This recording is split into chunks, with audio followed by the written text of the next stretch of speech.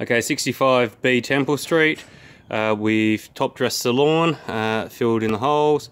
Put it, that should uh, look good in about three weeks. It will start growing through and it should be level and good. And as you can see, the bougainvillea has been taken right back.